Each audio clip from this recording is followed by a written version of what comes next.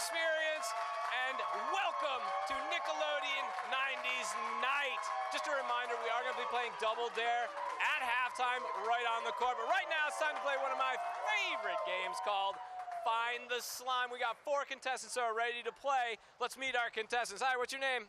Berto Horn. Molly Reynolds. Ginger Gobble. Memory Cornell. Oh, these guys are all ready to play. Here's how it works. As you can see, we got a bunch of cream pies in front of you. In one of these pie tins, I've hidden some slime. First contestant to find the slime will be the winner. Now, we actually have some Hawks alumni here right now. We got uh, Cal and Rashawn here. I'm going to sneak by because they got some words of advice for you. Bring it on in, guys. Hey, thanks, thanks for coming. First of all, I'm going to stand up here because you guys are much taller than me. Uh, you guys have any words of advice? I mean, you guys have been in some big games. Hey, I think you got to get in there, get dirty, find that slime. And I got a great idea.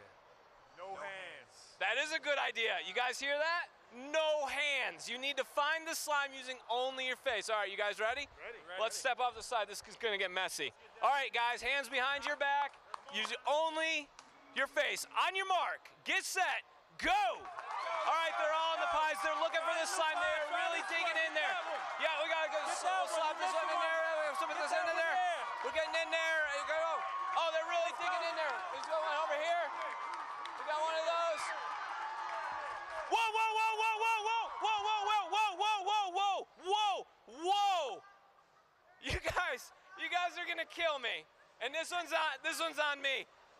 I actually forgot to put the slime in the pie. But wait, I got an idea. Hit it! Oh! Boom! Let's see that again in instant replay.